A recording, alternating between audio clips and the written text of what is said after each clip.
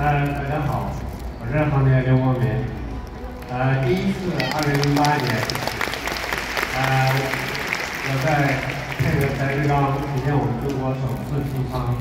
呃，当时我们的任务就是出得去，没得来。当时穿的服装，翟志刚是采用我们的飞天舱外服，我当时着装的是海鹰舱外服，实现一中一俄两套服装。呃，当时克服了重重困难。啊，一是开舱门。